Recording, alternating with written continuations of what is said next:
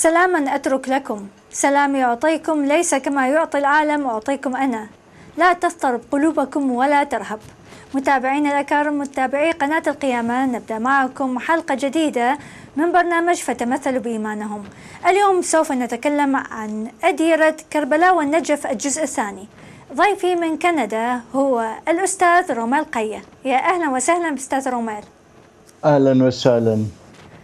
آه، طبعاً. شكرا آه، أشكر مرت آه، قناة القيامة لاتاحتهم فرصة لي لتقديم هذه المعلومات آه، للمستمعين والمشاهدين. شكرا جزيلا لقبول دعوتنا أستاذنا العزيز ولجميع متابعينا من الأسبوع الماضي أو الحلقة السابقة. أستاذ روميل انطانا معلومات على 28 داير وهاليوم حنكمل أيضا. عندنا مجموعة من الأديرة اللي كانت موجودة في منطقة كربلاء والنجف الحيرة سابقا. نبديها من أول داير اللي مختار لنا أستاذ روميل اللي هو داير كعب.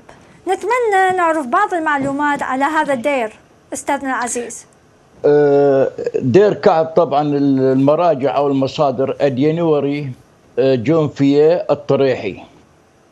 هناك دير آخر بهذا الاسم في منطقة الشام يذكره الاصفهاني آه، صحيفة 135 36 أما الدير الذي آه، نحن الآن بصدده يقع على الطريق بين قطسفون والكوفة في منطقة مجاورة لمدينة الحلة الحالية التي آه، بناها سيف الدولة بعد ذلك في سنة 1104 لقد ورد- ذكر آه، هذا الدير دير كعب في أحداث معركة القادسية والتي تسمى القادسية بلغة السورث قاديشة قاديشة.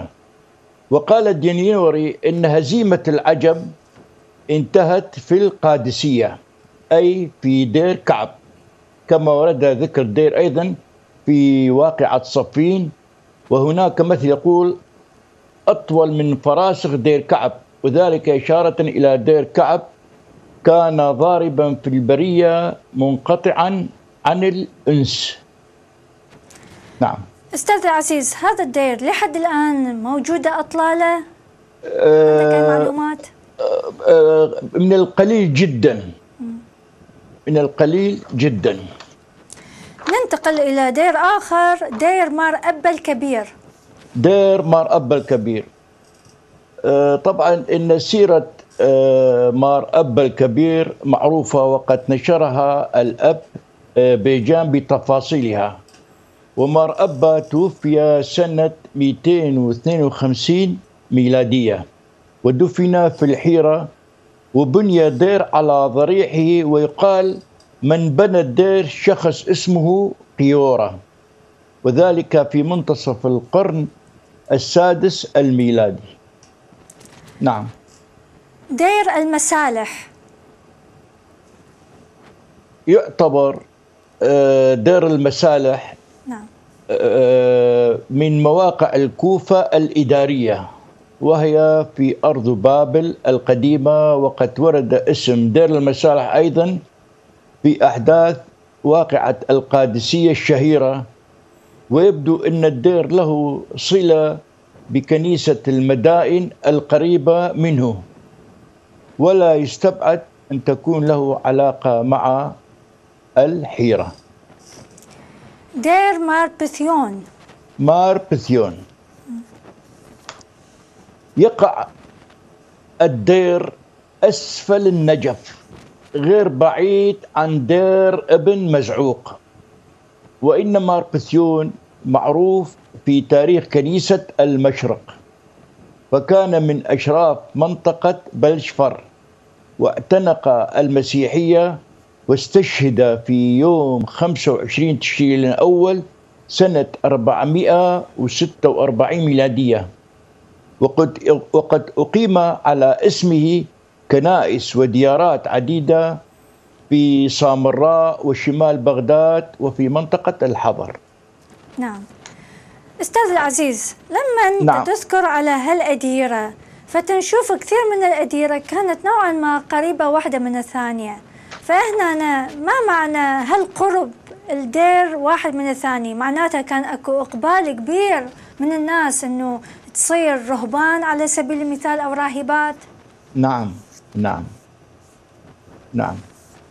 طبعا مثل ما قلنا في أول مرة المسيحية دخلت آه، أرض العراق في القرن الأول الميلادي وأول كنيسة معروفة حاليا كنيسة كوخي.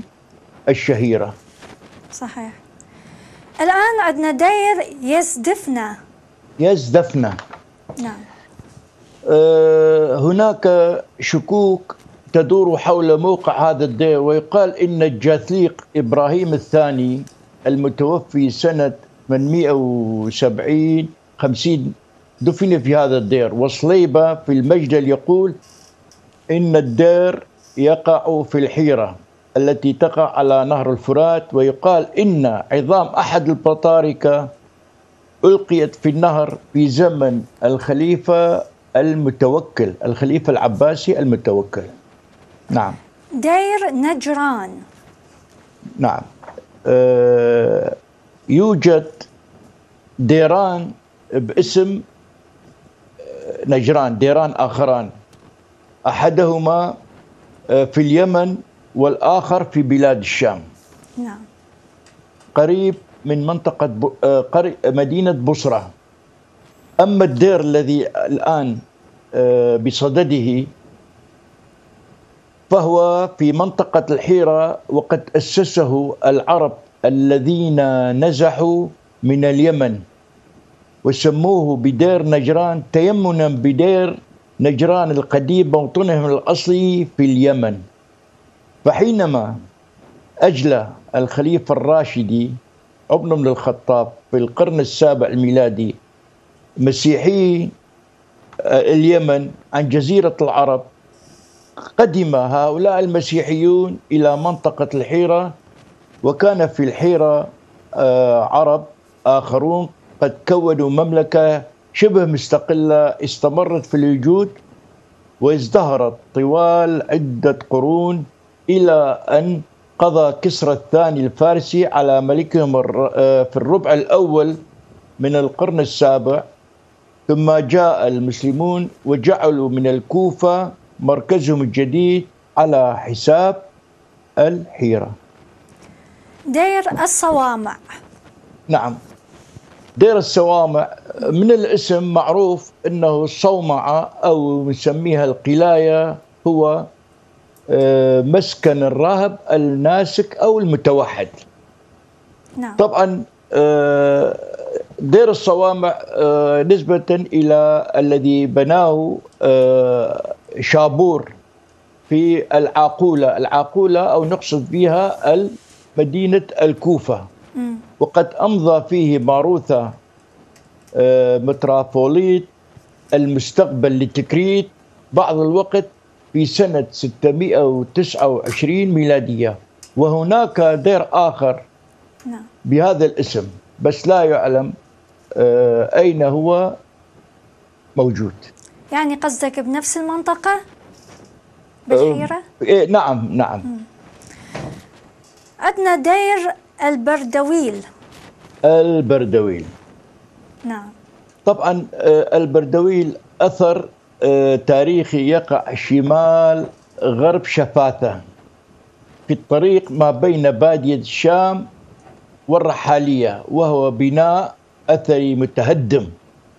وتشير هيئة الحاضر إلى أنه يتألف من آه، عدة آه، غرف وفي كل غرفة آه، نقوش يروي مكانا لوجود كتابات كلدانية التي نقرها أو كتبها الرهبان. كان يتعبد في هذا الدير راهب آه، ويذكر الطريحي صحيفة 119 أو صحيفة أن هناك موقع آخر يبدو أنه في السابق دير يسمى لحد الآن قصور لحد اليوم.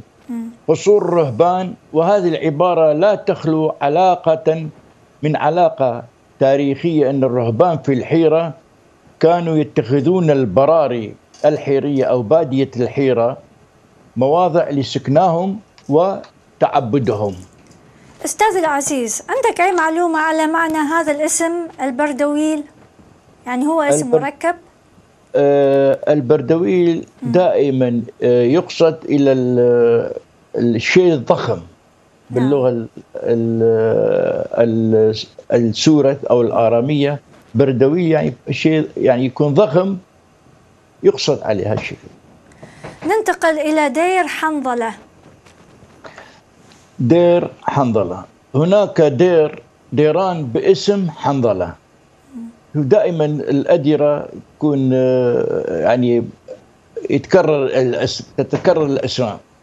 وهذا الدير الذي الآن نحن بصدده ينسب إلى حنظلة بن عبد المسيح بن علقمة ويكون تأسيس هذا الدير سنة 550 ميلادية في سهل الحيرة ويحدد صاحب المسالك موقع على مسافة فرسخ أو فرسخين شرق الحيرة ويتميز موقع الدير نعم. حسن البساتين والأشجار والكروم.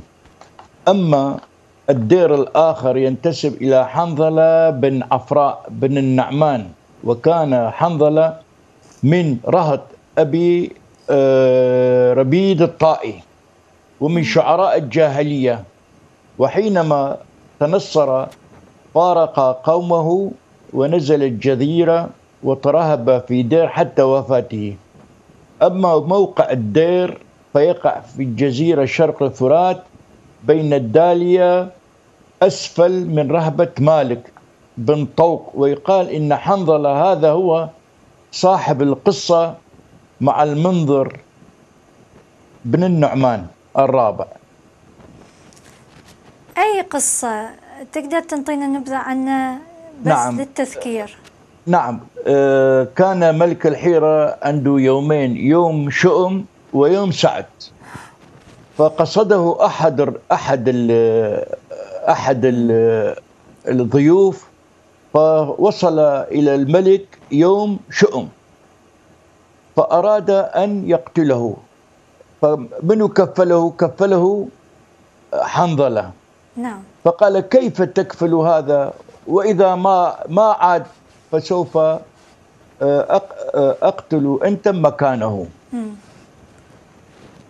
فراحت ورا سنه آه، رأوا آه، خيال يعني ده يقصد يقصد الملك.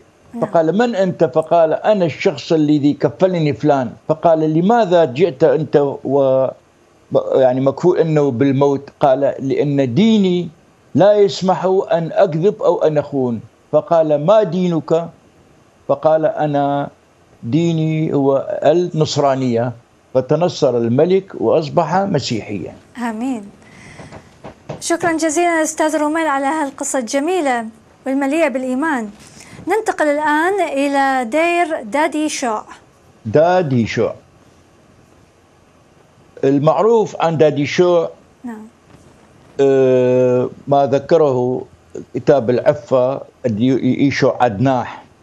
البصري العدد ثمانية الذي يقول أن أصل دادي شوع من مدينة ماحوزة بجوار بغداد وانطلق إلى دير بيت حالي في منطقة الحيرة وتوشح يعني توشح لبس الأسكيم أو الزي الرهباني. على يد باباي رئيس الدير. ويقول الطريحي إن دادي شوع هذا انزوى في أحد الاديره آه، في نواحي الحيرة والذي صار فيما بعد جاثليقا لكنيسة المشرق سنة من 424 إلى سنة 456 للميلاد. نعم. الآن ننتقل إلى دير الزرنوق. الزرنوق. هناك ديران بهذا الاسم. دير الزرنوق الواقع في جبل مطل على دجلة بينه وبين جزيرة ابن عمر فرسخان. أما دير الزرنوق نحن الآن في صدده فهو دير بين الكوفة والقادسية وبين القادسية وبينه. وذكر عمرو بن في المجد صفحة 20 أن دير الزرنوق شيد في عهد الجاثليق بربة في شبعين سنة 360 ميلادية والمصادر التاريخية تؤكد أن الجاثليق استشهد سنة 346 ميلادية. ومن الأرجح أن الدير بني في زمن لاحق أي يمكن بعد وفاة الجاثليق. دير سركيس وباكوس. دير سركيس وباقوس. كان هذا الدير يقع على مسافة تسعة كيلومتر في الجنوب الشرقي من الجن من النجف على بعد ميل واحد من القادسية. وفي هذا الدير اهتدى مار عبد القديم آه، حينما شاهد أعجوبة. وفي زمان الشابشتي القرن العاشر الميلادي كانت أطلال هذا الدير باسم المعاصر أو قباب أبو نوآس وربما يسعنا أن نشخص هذا الدير بدير الزرنوخ أي دير الساقية. ويكون موقعه بين الكوفة وكان الدير بأحسن موقع وكان الشاعر الكبير أبو نوآس كثير التردد إلى هذا الدير. هل لديك السبب لماذا كان هذا الشاعر يتردد إلى هذا الدير بالتحديد؟ آه. يقال آه، إنه نعم. عندما كان يأتي لإلقاء الشعر في هذا الدير كان الرهبان يقدمون له الخمر المعتق الآن ننتقل إلى دير الساوة السوى السوى السوى نعم. أو فيما بعد تطور إلى اسم دير العدل. نعم. آه، يقع هذا الدير خارج الحيلة وتؤول المصادر العربية اسم هذا الدير بأنواع مختلفة منها دير العدل وكان الناس يحلفون باسمه وكان الدير شاهدا ومزارا وفيه كانت تعقد عقودهم مثلا عقود الزواج القسم وإن هذا الدير نعم. وإن هذا الدير منسوب إلى رجل آه، من ايات أو منسوب إلى بني حذافة. وقد يكون المصادر تقول إن اسم الدير دير ساوى ساوى أي الشيخ ساوى اللفظه الآرامية ساوى يعني الشيخ أو الكبير. بالعمر. نعم. الكبير بالعمر. نعم. ننتقل إلى دير مار عبدي شوع عبدي شوع آه، يقع دير عبدي شو على مسافة أربعة أميال الجنوب الغربي من الحيرة وتقول المصادر إنه حصلت حوادث وعجائب في هذا الدير وحسب ما يقول المؤرخون إن مار آه، عبد إيشو أحد أقدم الديارات في المنطقة. وفي منطقة الحيرة وقد تم تأسيسه في عهد الجاتليق تومارسا آه، بين سنة 363 إلى سنة 371 للميلاد. دير العذارة.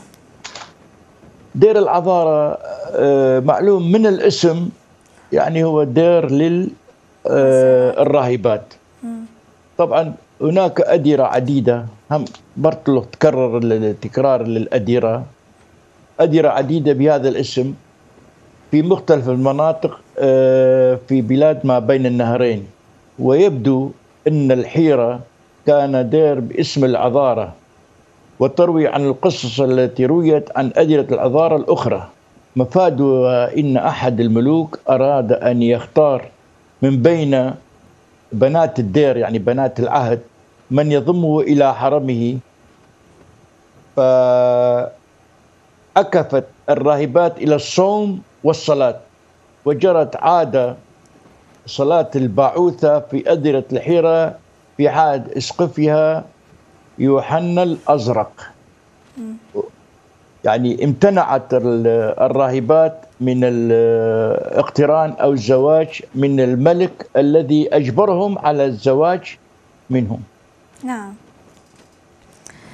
الآن ننتقل إلى منطقة نريد نعرف الأديرة اللي كانت موجودة بها اللي هي في فلك الحيرة. في فلك الحيرة. نعم. يقال في البادية المحيطة بقصر الأخيضر آه، في الجمال الغربي من الحيرة مجموعة هامة من الأديرة.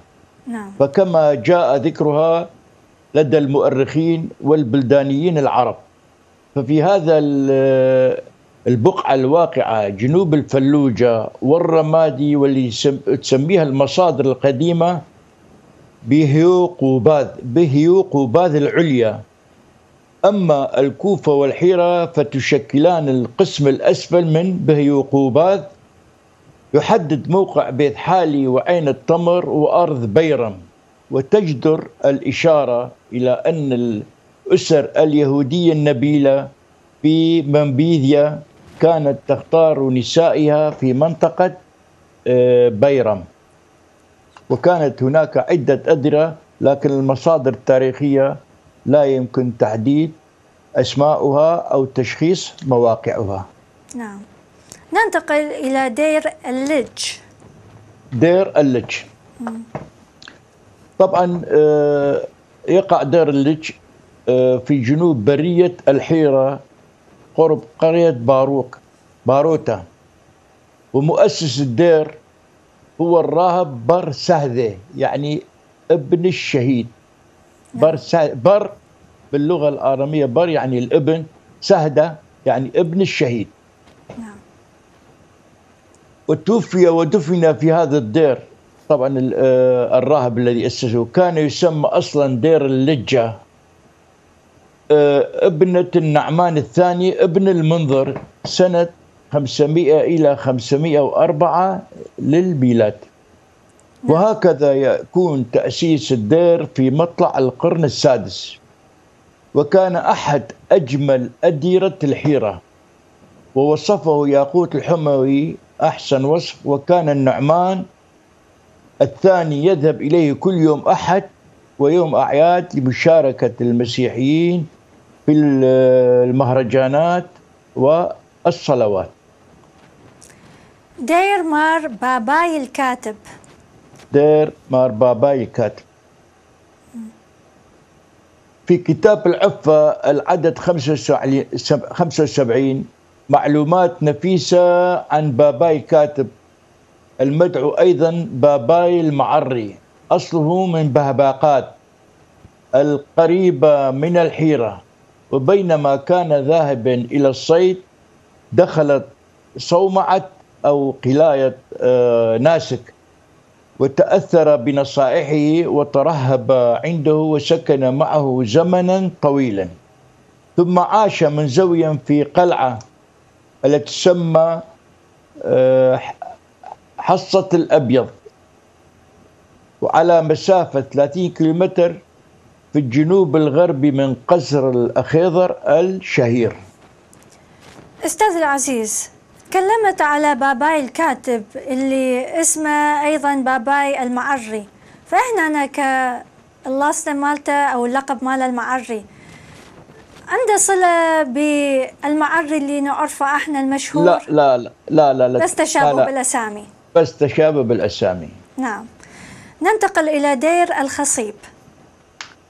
كان هذا الدير يشرف على النجف ويقع في المنطقة الغربية منها شرق الدير آه، وقصر الخصيب باتجاه الخرنق. بني هذا الدير في عهد الملك اللخمي المنذر الأول سنة 431 ميلادية إلى سنة 473 ميلادية. أي في منتصف القرن الخامس واستمر الدير إلى عهد الخليفة الواثق الخليفة العباسي سنة 841 إلى سنة 146 الذي زاره مع إسحاق ابن إبراهيم الموصلي إسحاق الموصلي الشهير. مم. نعم. أستاذ هنا نعم. تقول دير الخصيب. عنده علاقة منطقة أبو الخصيب الموجودة في جنوب العراق؟ أم أيضا تشابه بالأسامي؟ آه، أكيد ما عندي معلومات على هذا إنه ال- ال- اللي يتكلم لا يتكلم عن مصادر موثوقة وتاريخية. نعم. ما عندي معلومات بهذا ال- الخصوص. الآن لدينا دير هند الكبرى. نعم. آه، دير هند الكبرى. موقع الدير يقع الدير قرب دير اللجة غير بعيد عن النجف. نعم. ويسمى أيضا الأقدم أو الأول. أما هند الكبرى فهي ابنة الحارث بن عمرو بن حجر الملك الكندي المسمي بآكل المرار. وهي زوجة الملك النعمان الثالث الذي ملك الحيرة سنة 514 إلى سنة 563 المعروف بابن السباء. وأم وأم عمر عمرو بن هند الذي قتل في عقر داره بالحيرة ودفن في دير أمه هناك. وهي تعرف بهند الكبرى تمييزا لها عن هند الصغرى أخت النعمان الرابع. وهند الكبرى هي عمة الشاعر المعروف امرؤ القيس وتاريخ تأسيس الدير في عهد الملك كسرى الأول سنة 531 إلى سنة 572 للميلاد. دير هند الصغرى. دير هند الصغرى. يقع دير هند الصغرى شمال الحيرة قرب الطريق المؤدي إلى الكوفة. وينتسب الدير إلى هند الصغرى وهي بنت النعمان الثالث آه، ابن قابوس. وكانت أجمل نساء زمانها وأهلها. ومن ذوات ال- الفصاحة في الشعر. وحين اغتيل زيد بأمر من عمه دخلت هند يعني بعد مقتل زوجها دخلت الدير للراهبات ويقال إن النعمان أبيها بنى هذا الدير لابنته. زار هذا الدير شخصيات عديدة والتقوا بها منهم ال- القادة ال- ال- في زمن الفتوحات الإسلامية خالد بن الوليد سعد بن أبي وقاص عندما قدم من القادسية والمغير بن شعبة القائد الشهير عند ولاية الكوفة وزياد بن أبيه وزاره الحجاج بن يوسف الثقفي هند أيضا. وغضب منها لأنه حدث جدال بينهما لم يرضي والي العراق الحجاج بهذا الجدال الذي واجهه من الهند. أراد المغير بن شعبة آه، أن يخطب هند الصغرى فقالت له أي فخر في اجتماع شيخ أعور وعجوز عمياء؟ أنه آه، أراد أن يخطبها فهي كراهبة بالدير رفضت هذا الأمر. نعم. فردته بكلام لم يرضيه طبعا. نعم. ننتقل إلى دير خوداهوي. قداهوي خوداهوي. نعم. تأسس تأسس الدير في منتصف القرن السابع في عهد آه، جيورجيس الأول سنة 661 ميلادية. وهو خلف ال- البطريق الكبير إيشعياب الثالث الحديابي.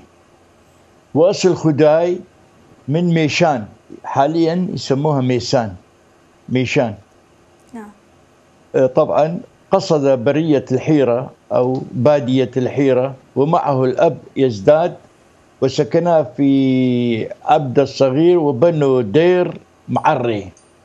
وعاشوا فترة فيه بعد ذلك شيدوا ديرا في بيت حالي وساعده ذلك الراهب صبري شوع أو بعد فيما مضى أصبح أسقف الحيرة وساعدهم بالأموال والعمال لبناء الدير.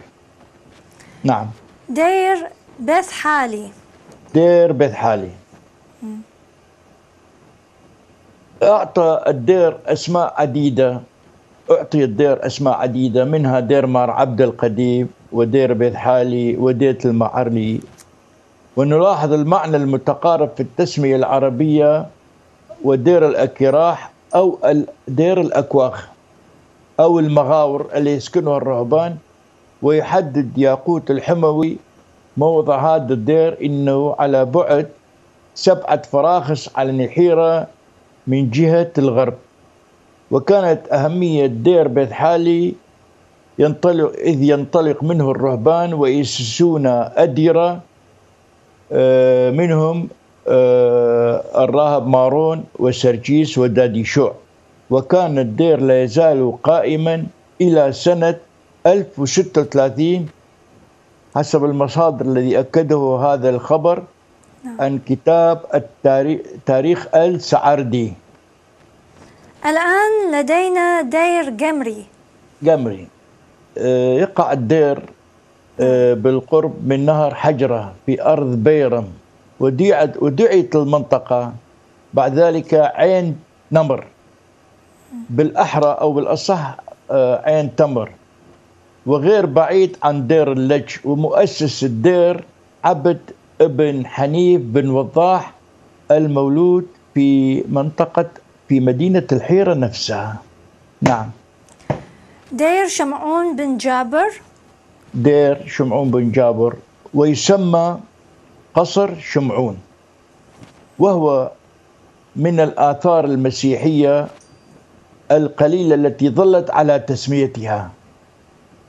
طوال قرون عديدة وهذا القصر منسوب إلى شمعون بن جابر اللخمي. طبعا آه، دولة الحيرة كان يسموها دولة بني عباد أو دولة اللخميين. نعم. وهو في الأصل دير قديم وشمعون الذي نحن الآن نتكلم عنه. كان مطران مطران الحيرة في الربع الأخير من القرن السادس وهو من مشاهير العلماء المسيحيين في القرن السادس وهو من نصر الملك الحيري النعمان الثالث ابن المنذر ذلك سنة 595 للميلاد. ويقع هذا القصر أو الدير اليوم في الجهة الشرقية من شفاثة في المقاطعة الموسومة بمقاطعة الحساويين. واليوم لا يرى الزائر لهذا الأثر سوى بعض الجدران الضخمة التي يبلغ ارتفاعها عشرة أمتار وسمكها نحو مترين. وعند القصر ثلاث سراديب أحدهما لا يزال لحد اليوم في حالة جيدة. نعم. دير عين تمر. دير عين التمر. تقع عين التمر في منطقة استراتيجية تلتقي فيها آه، في الطرق التجارية في البادية الغربية. وهذا يعني إنها كانت ملتقى القوافل العربية. فتحها خالد بن الوليد سنة 13 هجرية أي سنة 634 ميلادية والموقع الحالي جنوبي غربي مدينة كربلاء الحالية. وصلنا اليوم إلى آخر دير اللي هو دير الأقيصر. الأقيصر طبعا آه الأقيصر هو تصغير لكلمة القصر. القصر. من المواقع الأثرية ومواضعها المهمة تأتي حاليا مدينة القصير الأثرية المسيحية التي تقع على مسافة ثمانية كيلومتر شمال حصن الأخيضر الأثري وعلى بعد 28 كيلومتر من كهوف الطار الشهيرة التي تقع في منتصف طريق كربلاء عين التمر. كشفت التنقيبات الجزئية التي أجريت في منطقة عن وجود كنيسة داخل سور المدينة وعددا من العمارات المهمة ومن المحتمل أن تكون بقايا مدرسة ومكتبة وغرف مستقلة قد تكون قلايات أو صوامع للرهبان.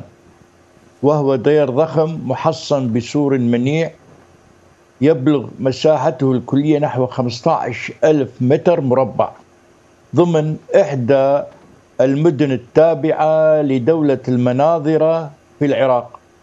وتشير الآثار والمباني إن مدينة المسيحية وقد نشأت في القرن الخامس أو السادس الميلادي وكانت المدينة تضم العديد من المقابر والكنائس والأبراج والمجمعات السكنية والأدرة وخزانات الكتب ووجد في الموضع كثيرا من الصلبان المرسومة على الفخار.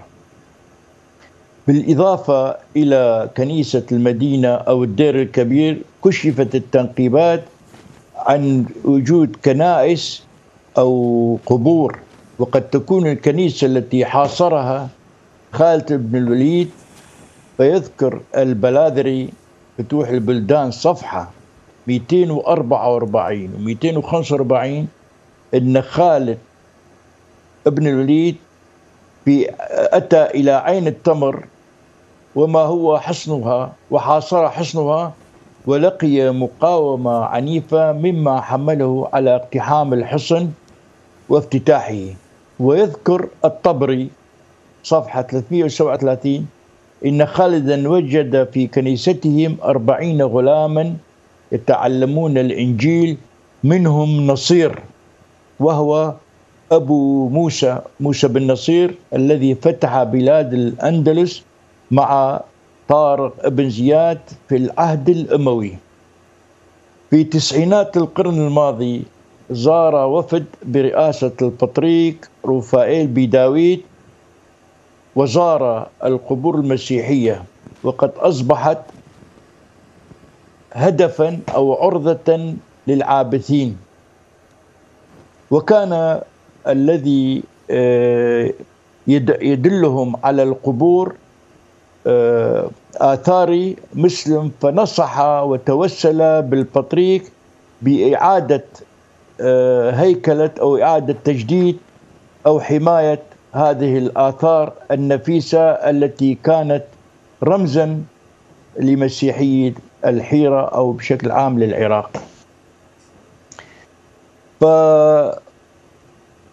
للاهتمام أو للإهمال من قبل الحكومة المركزية والحكومة المحلية الآن وفي هذه الأيام بالذات هذه أيام هذه الحوادث صارت قبل قبل 30 40 سنة نعم. لكن بعد السقوط ازداد الطين بلة إذ يقومون بنبش القبور وإخراج الجرار الفخارية التي كانت تحتوي على كنوز من الذهب من الصلبان وسرقتها.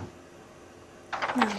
شكرا جزيلا أستاذ روميل على هالمعلومات القيمة اللي انطيتنا إياها على أديرة كربلاء والنجف الحيرة سابقا.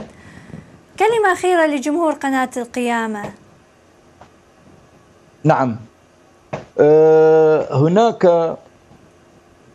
أه لا عجب أو لا أه استغراب نعم. مما نشر عن ملك اللخميين مدينة انتشار المسيحية في تلك الديار وعن اهتمام المناظرة ببيوت العبادة فبنوا ديارهم في بادية الحيرة لكن بمرور الزمن اندثرت وتلاشت كأنها لم تكن موجودة ولم تظهر لها حتى الأطلال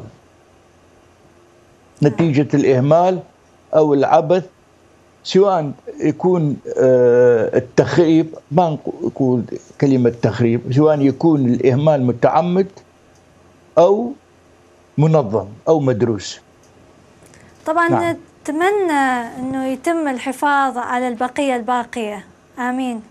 نعم الآثار سواء تكون مسيحية أو غير مسيحية فهي آثار يجب المحافظة عليها لكونها آه، مورد هام آه، للزوار آه، مستقبلا. أكيد أكيد. شكرا نعم. جزيلا أستاذ روميل قيم من كندا. شكرا. متابعينا نعمة ربنا يسوع المسيح ومحبة الله وشركة الروح القدس معكم جميعا. شكرا لحسن المتابعة.